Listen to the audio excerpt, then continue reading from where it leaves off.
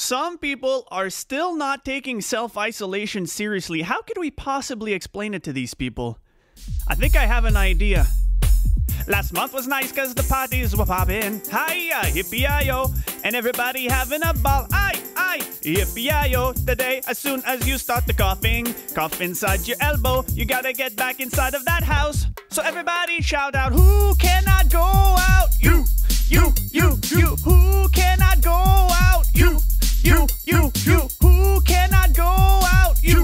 You, you, you. Who cannot go out? You, you, you. Last year at this time we had a ball, but now I don't want you to contaminate us all. So get back inside, get back inside, get back in and sanitize your hands.